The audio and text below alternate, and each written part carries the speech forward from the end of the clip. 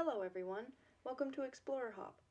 In this problem, we're told the Poisson random variable x represents the number of sales a business has. The business has an average of 5 sales per hour.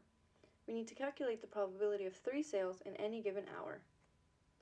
We can recall that the probability density function for a Poisson random variable is lambda x times e to the negative lambda over x factorial. We know that this is the mean, which is given to us as 5, and this is the number of successes we want, which is 3. So we can sub all of these values in,